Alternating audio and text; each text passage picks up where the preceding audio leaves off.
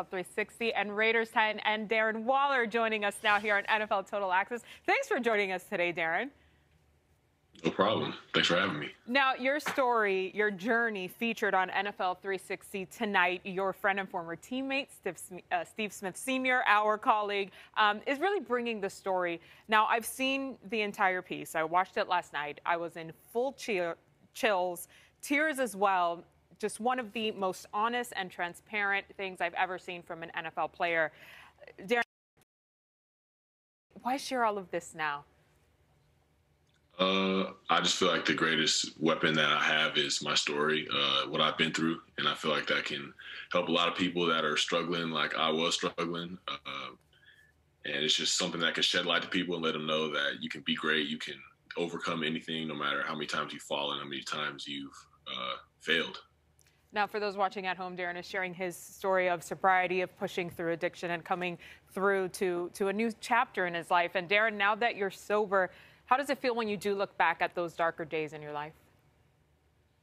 Um, I look back and I realize that everything happened for a reason. Like I went through everything to learn, to grow, to become who I am today. Because without those experiences, I can't say where I'd be or who I'd be right now. So I look back and I'm glad that I was able to weather those storms and to come through and come out the other side and be where I'm at now. And now my new mission is to, you know, help people avoid some of the things that I went through. And even if they have gone through some of the things that I've gone through, to let them know, encourage them that, you know, there's still light ahead of you. There's still something great to look forward to.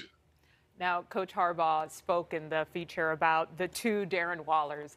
Uh, your father also spoke there about how he knew that something wasn't right with your soul. These are two men, obviously, who love you dearly. Why couldn't they help you at that point in your life? Uh, I don't think they could help me because I wasn't ready to help myself. Um, I was so caught up in the the two Darren Wallers are so accurate because there would be someone I'd put on display for the public and everyone, really, everyone except myself. There'd be me and myself who I would deal with outside of the building when I looked in the mirror. Um, so, you know, today I just try to, you know, be myself everywhere that I go uh, and know that, you know, who I am is good enough in any situation, any predicament. So I try not to you know, split myself up. I know that who I am is good enough in anything.